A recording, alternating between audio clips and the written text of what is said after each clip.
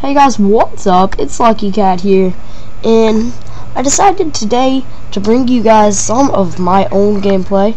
This is my second ever video, and um, I upload in nights, guys. I don't know if y'all knew that or not, but I upload overnight. If you're wondering why I upload overnight, the reason I upload overnight is mainly for the reason that overnight what happens is I have a slow internet. It's a three hour upload guys. Four three three to four hours to upload one single video commentary for you guys. Like that last one, 11 minutes. That was a 777 megabyte commentary, guys. But this is some of my gameplay using the Galil with a grenade launcher. Um, yeah, you can see quality's not very good. Dazzle DVC 100.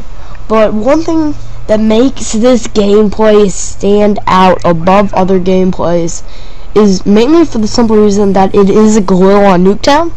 Now, a lot of people may say, oh, Galil on Nuketown, big whoop. No, guys, honestly, the Galil on Nuketown is kind of a hard combination considering that the Galil itself is not it's a good gun. Yeah, Galil's a great gun. But the Galil on Nuketown is not exactly the best combination.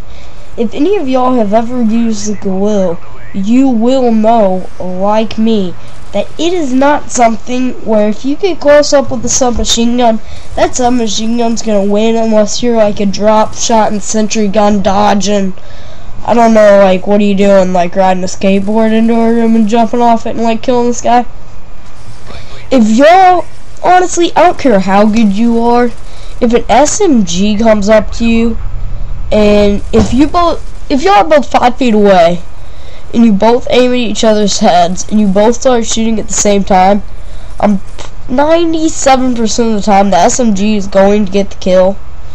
Mainly for the reasons that at that range, the Galil, it just, mostly all assault rifles, unless we're talking the FAMAS, uh, that, guys, that's a crazy gun. It has a rate of fire of a sub a Kiparis and um, the range of a sniper rifle. So that's a crazy, crazy gun, guys. That's just the FAMAS. Let's not even count the FAMAS. Let's say the FAMAS is too good.